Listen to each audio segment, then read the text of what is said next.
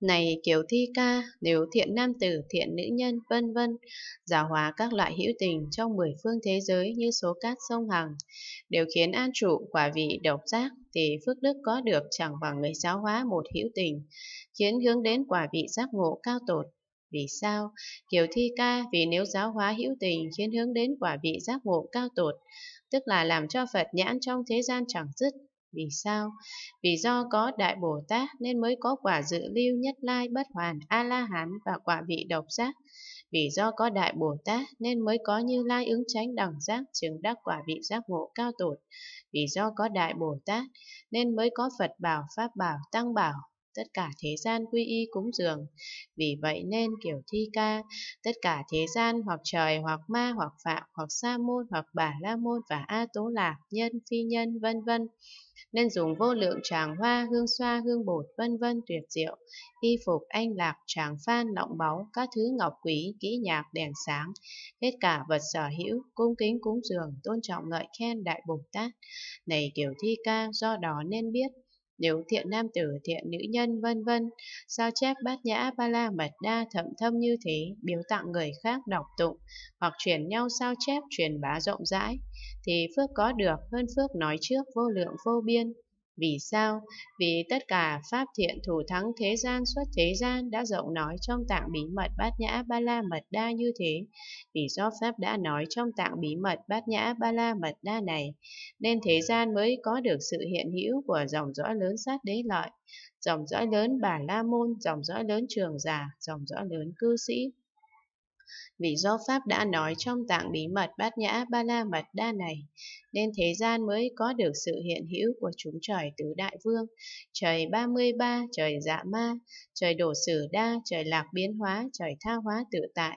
Vì do Pháp đã nói trong tạng bí mật bát nhã ba la mật đa này, nên thế gian mới có được sự hiện hữu của trời phạm chúng, trời phạm phụ, trời phạm hội, trời đại phạm, vì do Pháp đã nói trong tạng bí mật bát nhã ba la mật đa này, nên thế gian mới có được sự hiện hữu của trời quang, trời thiểu quang, trời vô lượng quang, trời cực quang tịnh. Vì do Pháp đã nói trong tạng bí mật bát nhã ba la mật đa này, nên thế gian mới có được sự hiện hữu của trời tịnh, trời thiểu tịnh, trời vô lượng tịnh, trời biến tịnh.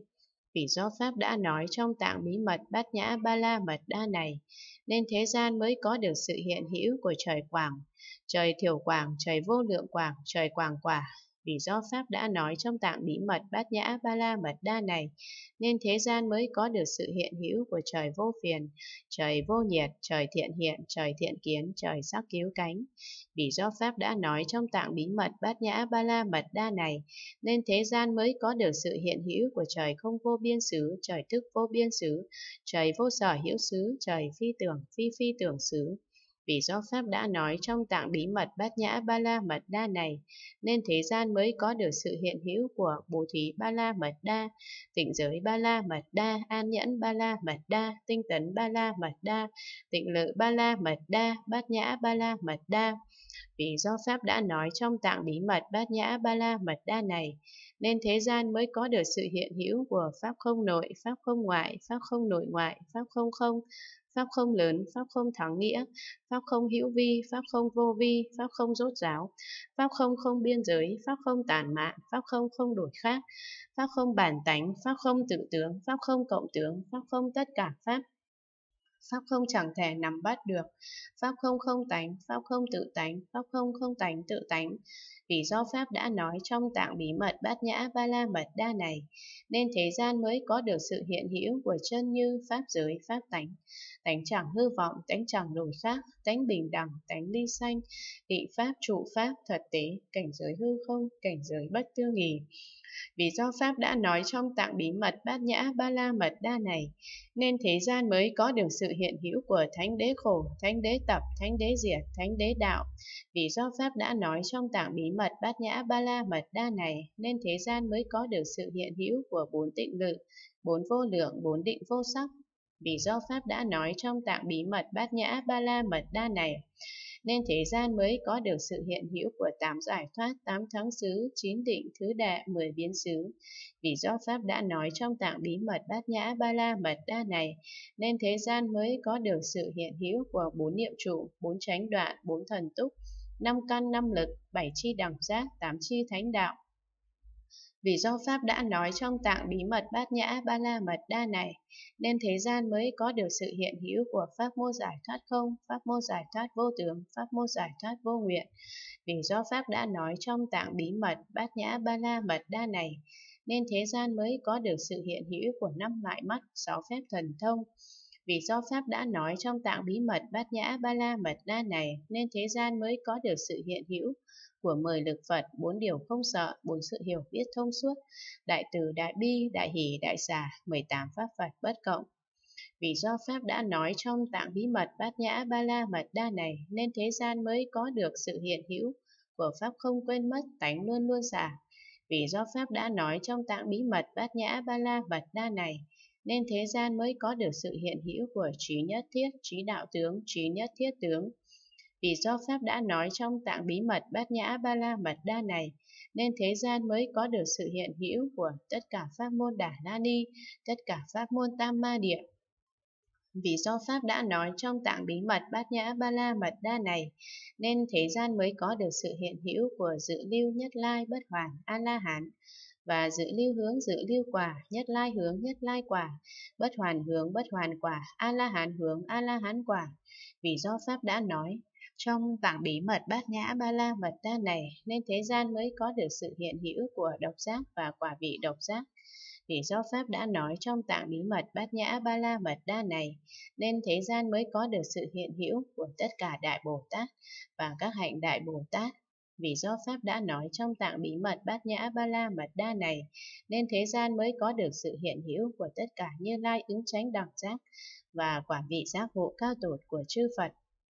Lại nữa, kiểu thi ca, ngoài các loại hữu tình trong mười phương thế giới, như số cát sông Hằng này, nếu thiện nam tử, thiện nữ nhân, vân vân, giao hòa các loại hữu tình ở tất cả thế giới trong mười phương, khiến đều tu học bốn tịnh lự, bốn vô lượng, bốn định vô sắc, năm phép thần thông, thì theo ý ông thế nào, thiện nam tử, thiện nữ nhân, vân vân ấy, do nhân duyên này được phước nhiều chăng? Trời đế thích bạch, bạch thế tôn rất nhiều, bạch thiện thể rất nhiều. Phật dạy, này kiểu thi ca, nếu thiện nam tử, thiện nữ nhân, vân vân, sao chép bát nhã ba la mật đa thậm thâm như thế, biếu tặng người khác đọc tụng, hoặc chuyển nhau sao chép, truyền bá rộng rãi, thì thiện nam tử, thiện nữ nhân, vân vân ấy, phước đức có được hơn trước rất nhiều. Vì sao? Kiểu thi ca vì tất cả Pháp vô lậu đã rộng nói trong tạng bí mật bát nhã ba la mật đa như thế. Bồ đặc giả la của chủng tánh thanh văn tu học Pháp này mau nhập tránh tánh ly sanh của thanh văn, đắc quả dự lưu, đắc quả nhất lai, đắc quả bất hoàn, đắc quả A-la-hán. Bồ đặc giả la của chủng tánh độc giác tu học Pháp này, mau nhập tránh tánh ly sanh của độc giác, gần lượt chứng đắc quả vị độc giác bổ đặc giả la của chủng tánh Bồ Tát tu học Pháp này, mau nhập chánh tánh ly sanh của Bồ Tát, lần lượt tu hành các hạnh Bồ Tát, chứng đắc, quả vị giác ngộ cao tột. Này Kiều Thi Ca, tất cả Pháp vô lậu đã rộng nói, trong tạng bí mật bát nhã ba la mật đa như thế, đó là bố thí ba la mật đa, tịnh giới ba la mật đa, an nhẫn ba la mật đa, tinh tấn ba la mật đa, tịnh lự ba la mật đa, bát nhã ba la mật đa, pháp không nội, pháp không ngoại, pháp không nội ngoại, pháp không không, pháp không lớn, pháp không thắng nghĩa, pháp không hữu vi, pháp không vô vi, pháp không rốt ráo, pháp không không biên giới, pháp không tàn mạn, pháp không không đổi khác, pháp không bản tánh, pháp không tự tướng, pháp không cộng tướng, pháp không tất cả pháp, pháp không chẳng thể nắm bắt được, pháp không không tánh, pháp không tự tánh, pháp không không tánh tự tánh, chân như pháp dưới pháp tánh, tánh chẳng hư vọng, tánh chẳng đổi khác, tánh bình đẳng, tánh ly sanh, định pháp, trụ pháp, thật tế, cảnh giới hư không, cảnh giới bất tư nghỉ bốn tịnh lự vô lậu, bốn vô lượng, bốn định vô sắc, tám giải thoát, tám thắng xứ, chín định thứ đệ, mười biến xứ, bốn niệm trụ, bốn chánh đoạn, bốn thần túc, năm căn, năm lực, bảy chi đẳng giác, tám chi thánh đạo, pháp môn giải thoát không, pháp môn giải thoát vô tướng, pháp môn giải thoát vô nguyện, năm loại mắt, sáu phép thần thông, mười lực của Phật, bốn điều không sợ, bốn sự hiểu biết thông suốt, đại từ, đại bi, đại hỷ, đại xả, mười tám pháp Phật bất cộng trí nhất thiết, trí đạo tướng, trí nhất thiết tướng, tất cả pháp môn Đà La Ni, tất cả pháp môn Tam Ma Địa và vô lượng vô biên Phật pháp khác, tất cả đều là pháp vô lậu đã nói trong đó. Này kiểu thi ca, nếu thiện nam tử, thiện nữ nhân, vân vân, giáo hóa một hữu tình, trụ quả dự lưu, thì phước đức có được, còn hơn giáo hóa các loại hữu tình ở tất cả thế giới trong mười phương như thế, khiến đều tu học bốn tịnh lự, bốn vô lượng, bốn định vô sắc, năm phép thần thông, vì sao? Kiểu thi ca, vì các hữu tình tu hành bốn tịnh lự, bốn vô lượng, bốn định vô sắc, năm phép thần thông, chẳng thoát khỏi địa ngục bằng sanh quỷ thú. Nhưng nếu các hữu tình trụ quả dự lưu thì được vĩnh viễn được thoát khỏi ba đường ác. Huống là giáo hóa khiến trụ quả nhất lai bất hoàn A-la-hán, thì phước đức có được chẳng hơn kia sao? Này Kiều Thi Ca, nếu thiện nam tử, thiện nữ nhân, vân vân, giáo hóa các loại hữu tình ở tất cả thế giới trong mười phương, đều trụ quả dự lưu nhất lai bất hoàn A-la-hán, thì phước đức có được chẳng bằng người giáo hóa một hữu tình, khiến họ an trụ quả vị độc giác. Vì sao? Kiều Thi Ca, vì công đức của quả vị độc giác hơn dự lưu vân vân gấp trăm ngàn lần. Này Kiều Thi Ca, hiểu thiện nam tử, thiện nữ nhân, vân vân giáo hóa các loại hữu tình ở tất cả thế giới trong mười phương, khiến đều an trụ quả vị độc giác, thì phước đức có được chẳng bằng người giáo hóa một hữu tình khiến hướng đến quả vị giác ngộ cao tột. Vì sao? Kiều Thi Ca, vì nếu giáo hóa hữu tình khiến hướng đến quả vị giác ngộ cao tột, tức là làm cho Phật nhãn trong thế gian chẳng dứt, vì sao? Vì do có Đại Bồ Tát nên mới có quả dự lưu nhất lai bất hoàn A-la-hán và quả vị độc giác. Vì do có Đại Bồ Tát nên mới có Như Lai ứng tránh đẳng giác, chứng đắc quả vị giác ngộ cao tột. Vì do có Đại Bồ Tát nên mới có Phật bảo, Pháp bảo, Tăng bảo, tất cả thế gian quy y cúng dường. Vì vậy nên kiểu thi ca, tất cả thế gian hoặc trời hoặc ma hoặc phạm hoặc sa môn hoặc bà la môn và a tố lạc nhân phi nhân vân vân. Nên dùng vô lượng tràng hoa hương xoa hương bột vân vân tuyệt diệu y phục anh lạc tràng phan lọng báu các thứ ngọc quý kỹ nhạc đèn sáng hết cả vật sở hữu cung kính cúng dường tôn trọng ngợi khen đại bồ tát này Kiều Thi Ca, do đó nên biết, nếu thiện nam tử, thiện nữ nhân, vân vân sao chép bát nhã ba la mật đa thậm thâm như thế, biểu tặng người khác đọc tụng hoặc truyền nhau sao chép, truyền bá rộng rãi, thì phước đức có được hơn phước nói trước vô lượng vô biên. Vì sao? Vì tất cả pháp thiện thủ thắng thế gian xuất thế gian đã rộng nói trong tạng bí mật bát nhã ba la mật đa như thế. Vì do Pháp đã nói trong tạng bí mật bát nhã ba la mật đa này, nên thế gian mới có được sự hiện hữu của dòng dõi lớn sát đế lợi, dòng dõi lớn bà la môn, dòng dõi lớn trường giả, dòng dõi lớn cư sĩ. Vì do Pháp đã nói trong tạng bí mật bát nhã ba la mật đa này nên thế gian mới có được sự hiện hữu của chúng trời tứ đại vương, trời 33, trời dạ ma, trời đổ sử đa, trời lạc biến hóa, trời tha hóa tự tại. Vì do Pháp đã nói trong tạng bí mật bát nhã ba la mật đa này nên thế gian mới có được sự hiện hữu của trời phạm chúng, trời phạm phụ, trời phạm hội, trời đại phạm. Vì do Pháp đã nói trong tạng bí mật bát nhã ba la mật đa này, nên thế gian mới có được sự hiện hữu của trời quang, trời thiểu quang, trời vô lượng quang, trời cực quang tịnh. Vì do Pháp đã nói trong tạng bí mật bát nhã ba la mật đa này, nên thế gian mới có được sự hiện hữu của trời tịnh, trời thiểu tịnh, trời vô lượng tịnh, trời biến tịnh. Vì do Pháp đã nói trong tạng bí mật bát nhã ba la mật đa này, nên thế gian mới có được sự hiện hữu của trời quảng, trời thiểu quảng, trời vô lượng quảng, trời quảng quả. Vì do Pháp đã nói trong tạng bí mật bát nhã ba la mật đa này, nên thế gian mới có được sự hiện hữu của trời vô phiền, trời vô nhiệt, trời thiện hiện, trời thiện kiến, trời sắc cứu cánh. Vì do Pháp đã nói trong tạng bí mật bát nhã ba la mật đa này, nên thế gian mới có được sự hiện hữu của trời không vô biên xứ, trời thức vô biên xứ, trời vô sở hữu xứ, trời phi tưởng, phi phi tưởng xứ. Vì do Pháp đã nói trong tạng bí mật bát nhã ba la mật đa này, nên thế gian mới có được sự hiện hữu của bố thí ba la mật đa, tịnh giới ba la mật đa, an nhẫn ba la mật đa, tinh tấn ba la mật đa, tịnh lự ba la mật đa, bát nhã ba la mật đa. Vì do Pháp đã nói trong tạng bí mật bát nhã ba la mật đa này, nên thế gian mới có được sự hiện hữu của Pháp không nội, Pháp không ngoại, Pháp không nội ngoại, Pháp không không, Pháp không lớn, Pháp không thắng nghĩa, Pháp không hữu vi, Pháp không vô vi, Pháp không rốt ráo, Pháp không không biên giới, Pháp không tàn mạn, Pháp không không đổi khác, Pháp không bản tánh, Pháp không tự tướng, Pháp không cộng tướng, Pháp không tất cả Pháp, Pháp không chẳng thể nắm bắt được, Pháp không không tánh, Pháp không tự tánh, Pháp không không tánh tự tánh. Vì do Pháp đã nói trong tạng bí mật bát nhã ba la mật đa này, nên thế gian mới có được sự hiện hữu của chân như Pháp giới, Pháp tánh, tánh chẳng hư vọng, tánh chẳng đổi khác, tánh bình đẳng, tánh ly sanh, định Pháp, trụ Pháp, thật tế, cảnh giới hư không, cảnh giới bất tư nghỉ. Vì do Pháp đã nói trong tạng bí mật bát nhã ba la mật đa này, nên thế gian mới có được sự hiện hữu của Thánh Đế Khổ, Thánh Đế Tập, Thánh Đế Diệt, Thánh Đế Đạo. Vì do Pháp đã nói trong tạng bí mật bát nhã ba la mật đa này, nên thế gian mới có được sự hiện hữu của bốn tịnh lự, bốn vô lượng, bốn định vô sắc.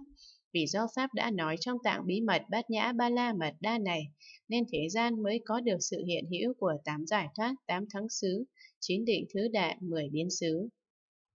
Vì do Pháp đã nói trong tạng bí mật bát nhã ba la mật đa này, nên thế gian mới có được sự hiện hữu của bốn niệm trụ, bốn chánh đoạn, bốn thần túc, năm căn, năm lực, bảy chi đẳng giác, tám chi thánh đạo. Vì do Pháp đã nói trong tạng bí mật bát nhã ba la mật đa này, nên thế gian mới có được sự hiện hữu của pháp môn giải thoát không, pháp môn giải thoát vô tưởng, pháp môn giải thoát vô nguyện. Vì do Pháp đã nói trong tạng bí mật bát nhã ba la mật đa này, nên thế gian mới có được sự hiện hữu của năm loại mắt, sáu phép thần thông. Vì do Pháp đã nói trong tạng bí mật bát nhã ba la mật đa này, nên thế gian mới có được sự hiện hữu của mười lực Phật, bốn điều không sợ, bốn sự hiểu biết thông suốt, đại từ, đại bi, đại hỷ, đại xả, 18 pháp Phật bất cộng. Vì do Pháp đã nói trong tạng bí mật bát nhã ba la mật đa này,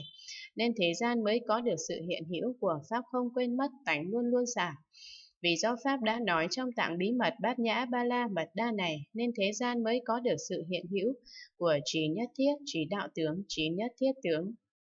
Vì do Pháp đã nói trong tạng bí mật bát nhã ba la mật đa này, nên thế gian mới có được sự hiện hữu của tất cả pháp môn Đà La Ni, tất cả pháp môn Tam Ma Địa. Vì do Pháp đã nói trong tạng bí mật bát nhã ba la mật đa này, nên thế gian mới có được sự hiện hữu của dự lưu nhất lai bất hoàn a la hán và dự lưu hướng dự lưu quả nhất lai hướng nhất lai quả bất hoàn hướng bất hoàn quả a la hán hướng a la hán quả vì do Pháp đã nói trong tạng bí mật bát nhã ba la mật đa này nên thế gian mới có được sự hiện hữu của độc giác và quả vị độc giác vì do Pháp đã nói trong tạng bí mật bát nhã ba la mật đa này nên thế gian mới có được sự hiện hữu của tất cả đại Bồ Tát và các hạnh đại Bồ Tát vì do Pháp đã nói trong tạng bí mật bát nhã ba la mật đa này, nên thế gian mới có được sự hiện hữu của tất cả như lai ứng tránh đẳng giác và quả vị giác ngộ cao tột của chư Phật.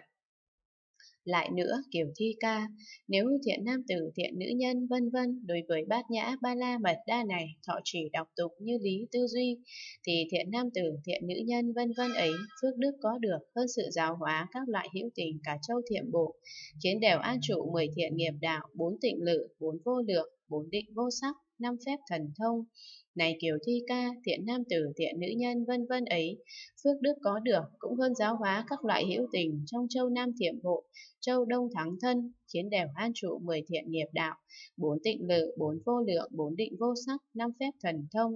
Này kiều thi ca, thiện nam tử, thiện nữ nhân vân vân ấy, phước đức có được cũng hơn giáo hóa các loại hữu tình trong châu Nam thiện bộ, châu Đông thắng thân, châu Tây nghiêu hóa, khiến đều an trụ mười thiện nghiệp đạo, bốn tịnh lự, bốn vô lượng, bốn định vô sắc, năm phép thần thông.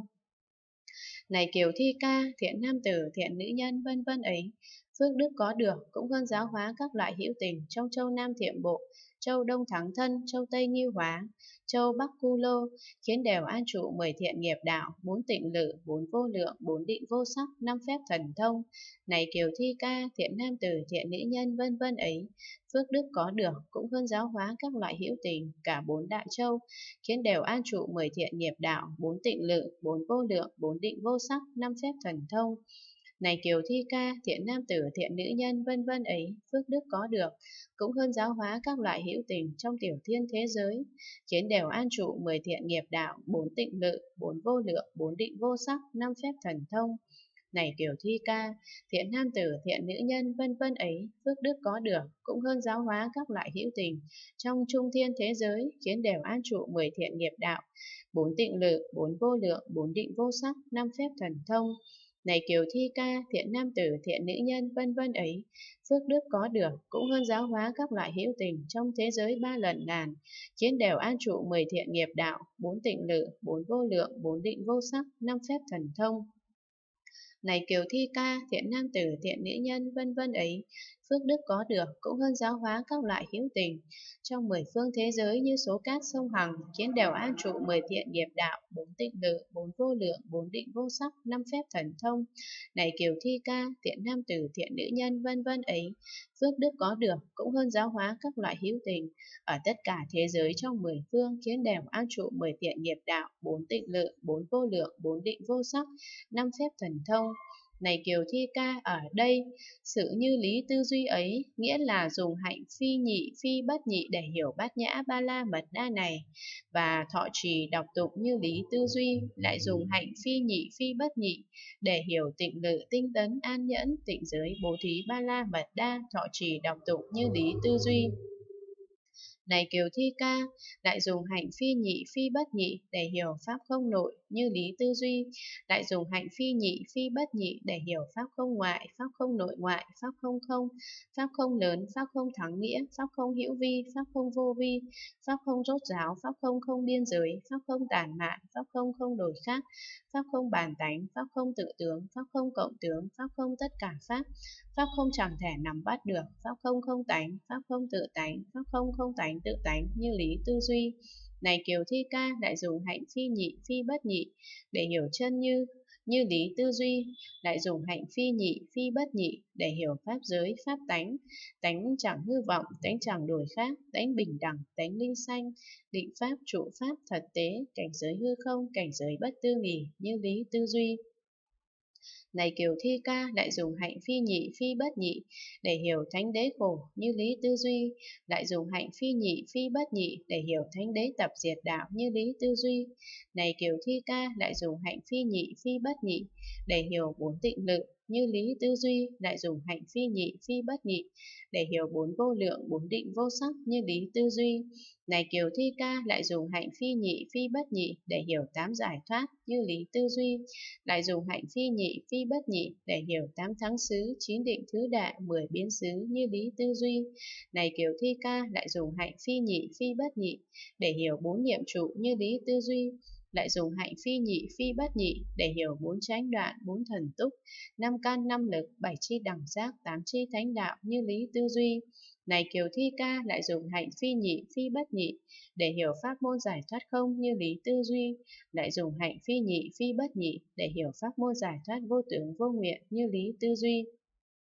Này Kiều Thi Ca lại dùng hạnh phi nhị phi bất nhị để hiểu năm loại mắt như lý tư duy, lại dùng hạnh phi nhị phi bất nhị để hiểu sáu phép thần thông như lý tư duy. Này Kiều Thi Ca lại dùng hạnh phi nhị phi bất nhị để hiểu mười lực của Phật như lý tư duy, lại dùng hạnh phi nhị phi bất nhị để hiểu bốn điều không sợ, bốn sự hiểu biết thông suốt, đại từ, đại bi, đại hỷ, đại xả, 18 pháp Phật bất cộng như lý tư duy. Này Kiều Thi Ca lại dùng hạnh phi nhị phi bất nhị để hiểu pháp không quên mất như lý tư duy, lại dùng hạnh phi nhị phi bất nhị để hiểu tánh luôn luôn xả như lý tư duy. Này Kiều Thi Ca lại dùng hạnh phi nhị phi bất nhị để hiểu trí nhất thiết như lý tư duy, lại dùng hạnh phi nhị phi bất nhị để hiểu trí đạo tướng, trí nhất thiết tướng như lý tư duy. Này Kiều Thi Ca lại dùng hạnh phi nhị phi bất nhị để hiểu tất cả pháp môn Đà La Ni như lý tư duy, lại dùng hạnh phi nhị phi bất nhị để hiểu tất cả pháp môn Tam Ma Địa như lý tư duy. Này Kiều Thi Ca lại dùng hạnh phi nhị phi bất nhị để hiểu hạnh đại Bồ Tát như lý tư duy. Này Kiều Thi Ca lại dùng hạnh phi nhị phi bất nhị để hiểu quả vị giác ngộ ca tổ như lý tư duy. Lại nữa, Kiều Thi Ca, nếu thiện nam tử, thiện nữ nhân, vân vân đối với bát nhã ba la mật đa này, dùng vô lượng phương pháp vì người khác rộng nói, chỉ bày, khai diễn, giải thích rõ ràng, phân biệt nghĩa thú khiến họ dễ hiểu, thì phước đức có được hơn công đức tự thọ trì hoặc đọc hoặc tụng, như lý tư duy bát nhã ba la mật đa như thế. Này Kiều Thi Ca, cái gọi là nghĩa thú của bát nhã ba la mật đa này là bát nhã ba la mật đa này phi nhị, phi bất nhị, phi hữu tướng, phi vô tướng, phi nhập, phi xuất, phi tăng, phi giảm, phi nhiễm, phi tịnh, phi sanh, phi diệt, phi thủ phi xả, phi chấp, phi bất chấp,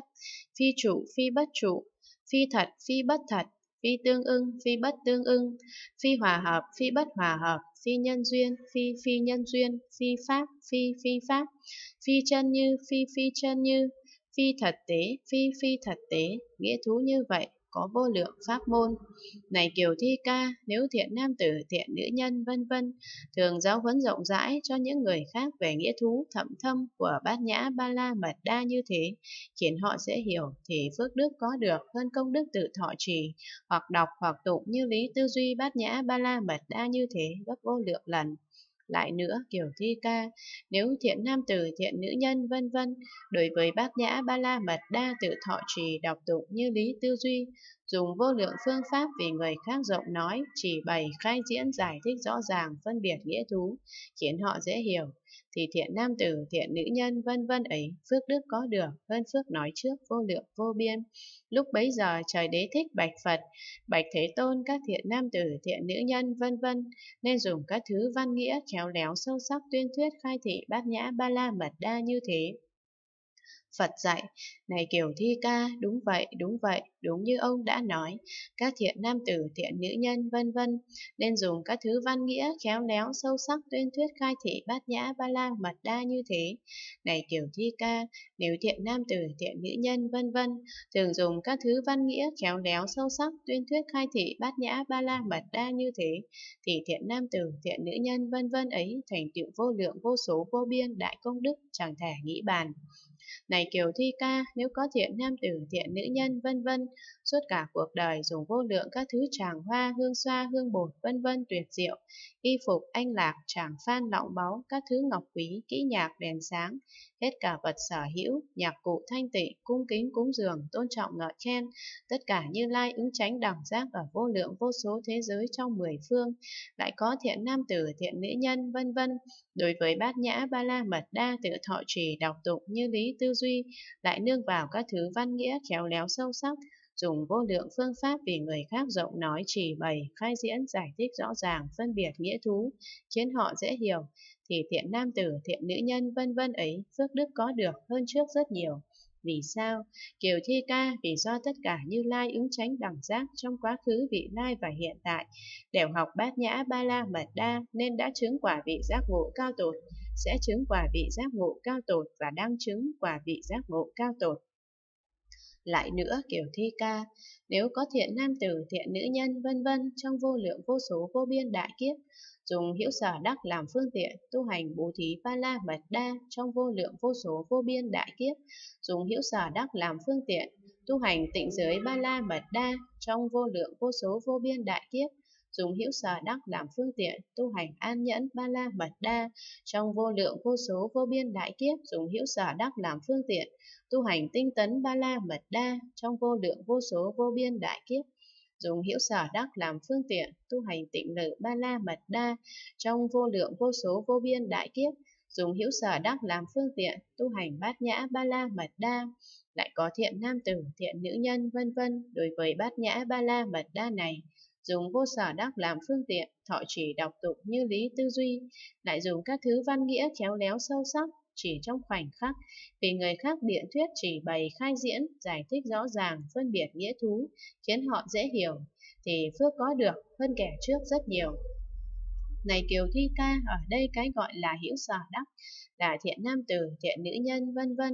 Khi tu hành bố thí, nghĩ thế này, ta là người ban cho, kia là kẻ nhận, đây là sự cho, kết quả sự cho và vật cho. Khi người ấy tu hành bố thí mà chấp vào cái danh bố thí thì chẳng thể gọi là bố thí ba la mật đa, vì đã dùng hiểu sở đắc làm phương tiện. Nếu thiện nam tử, thiện nữ nhân, vân vân, khi tu hành tịnh giới, nghĩ thế này, ta có khả năng trì giới là vì hộ giới, đây là kết quả của sự trì giới và giới được trì. Khi người ấy trì giới mà chấp vào cái danh tịnh giới, thì chẳng thể gọi là tịnh giới ba la mật đa vì đã dùng hiểu sở đắc làm phương tiện. Nếu thiện nam tử, thiện nữ nhân, vân vân khi tu hành an nhẫn nghĩ thế này, ta có khả năng tu hành an nhẫn là vì hộ trì an nhẫn, đây là kết quả an nhẫn và tự tánh an nhẫn. Khi người ấy tu hành an nhẫn mà chấp vào cái danh an nhẫn thì chẳng thể gọi là an nhẫn ba la mật đa vì đã dùng hữu sở đắc làm phương tiện. nếu thiện nam tử, thiện nữ nhân, vân vân. Khi tu hành tinh tấn nghĩ thế này, ta có khả năng tinh tấn, là vì tu hành đoạn trừ pháp ấy, đây là kết quả tinh tấn và tự tánh tinh tấn. Khi người ấy tinh tấn chấp vào cái danh tinh tấn thì chẳng thể gọi là tinh tấn ba la mật đa, vì đã dùng hữu sở đắc làm phương tiện nếu thiện nam tử, thiện nữ nhân, vân vân. Khi tu hành tịnh lự nghĩ thế này, ta có khả năng tu hành thiền định, kia là cảnh định, đây là kết quả của định và tự tánh của định. Khi người ấy tu hành tịnh lự mà chấp vào cái danh tịnh lự, thì chẳng thể gọi là tịnh lự ba la mật đa vì đã dùng hữu sở đắc làm phương tiện. Nếu thiện nam tử, thiện nữ nhân, vân vân khi tu hành bát nhã nghĩ thế này, Ta có khả năng tu hành trí tuệ, kia là cảnh tuệ, đây là kết quả của bát nhã và tự tánh của bát nhã. Khi người ấy tu hành trí tuệ chấp vào cái danh bát nhã, thì chẳng thể gọi là bát nhã ba la mật đa vì đã dùng hữu sở đắc làm phương tiện.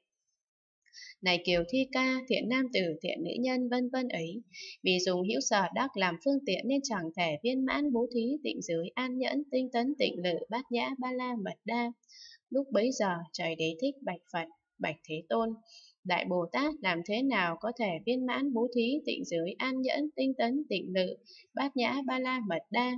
Phật dạy, này Kiều Thi Ca, nếu Đại Bồ Tát khi tu hành bố thí, chẳng thấy có người cho, kẻ nhận sự cho, kết quả sự cho, và vật cho vì đã dùng vô sở đắc làm phương tiện,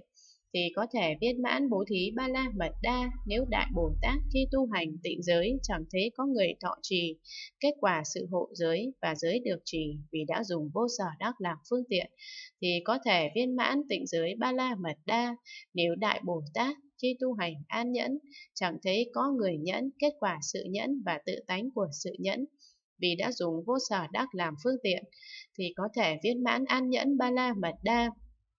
nếu Đại Bồ Tát khi tu hành tinh tấn, chẳng thấy có người siêng năng, kết quả của siêng năng và tự tánh của tinh tấn, vì đã dùng vô sở đắc làm phương tiện, thì có thể viên mãn tinh tấn ba la mật đa. Nếu Đại Bồ Tát khi tu hành tịnh lự, chẳng thấy có người định cảnh định, kết quả của định và tự tánh của tịnh lự, vì đã dùng vô sở đắc làm phương tiện, thì có thể viên mãn tịnh lự ba la mật đa nếu Đại Bồ Tát khi tu hành bát nhã, chẳng thấy có người tu tuệ cảnh tuệ, kết quả sự tu tuệ và tự tánh của bát nhã vì đã dùng vô sở đắc làm phương tiện thì có thể viên mãn bát nhã ba la mật đa này kiều thi ca các thiện nam tử thiện nữ nhân vân vân nên dùng tuệ vô sở đắc như thế và dùng các thứ văn nghĩa khéo léo sâu sắc, tuyên thuyết bát nhã, ba la, mật đa, nên dùng tuệ vô sở đắc như thế, và dùng các thứ văn nghĩa khéo léo sâu sắc, tuyên thuyết tịnh lợi ba la, mật đa, nên dùng tuệ vô sở đắc như thế, và dùng các thứ văn nghĩa khéo léo sâu sắc, tuyên thuyết tinh tấn, ba la, mật đa, nên dùng tuệ vô sở đắc như thế và dùng các thứ văn nghĩa khéo léo sâu sắc, tuyên nói an nhẫn ba la mật đa, nên dùng tuệ vô sở đắc như thế và dùng các thứ văn nghĩa khéo léo sâu sắc, tuyên thuyết tịnh giới ba la mật đa, nên dùng tuệ vô sở đắc như thế và dùng các thứ văn nghĩa khéo léo sâu sắc, tuyên thuyết bố thí ba la mật đa. Vì sao? Kiều Thi Ca, vì ở đời vị lai có thiện nam tử, thiện nữ nhân vân vân vì người khác tuyên thuyết bát nhã ba la mật đa tương tự. Người sơ phát tâm vô thượng bồ đề, nghe người ấy nói pháp bát nhã ba la mật đa tương tự, tâm liền mê lầm, làm mất trung đạo, cho nên phải dùng tuệ vô sở đắc